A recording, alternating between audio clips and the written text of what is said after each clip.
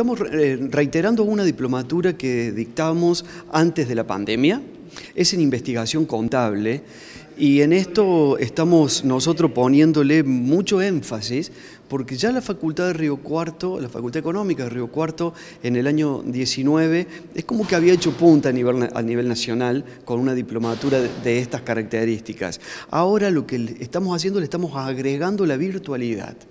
Eh, claramente va a ser la primera a nivel nacional.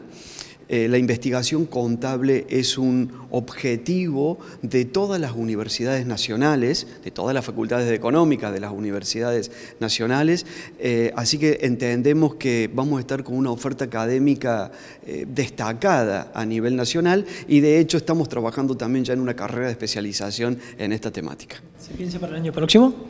La verdad lo pensamos para iniciarlo en noviembre. Estamos ahí muy justitos con, las fechas, pero si podemos lo queremos empezar antes de fin de año. ¿Y cuáles serían las características de esta diplomatura, su duración, sus destinatarios? Bueno, eh, la duración es 14 meses.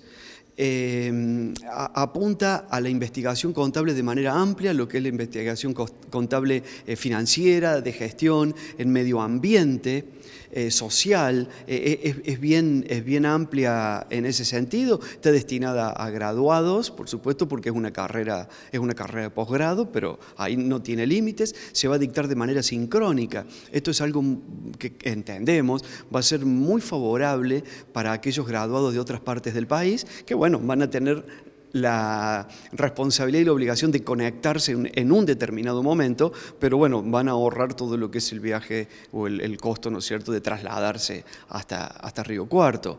Eh, y como dije, son, son 14 meses la duración.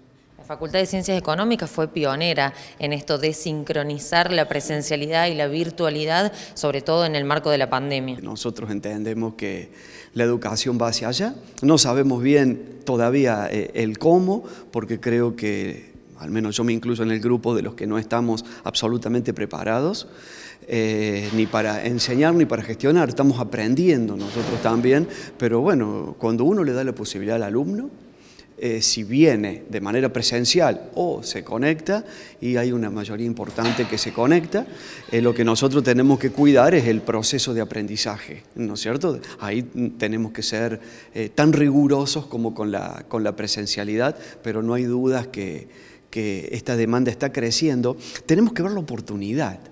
Tenemos que ver la oportunidad, la oportunidad de poder tomar clases de una universidad de otro país, de otro continente, que nuestros alumnos puedan escuchar eso y nosotros ser recíprocos, ¿no es cierto? Nosotros también dictar clases abiertas, híbridas en este caso, como para esos otros alumnos.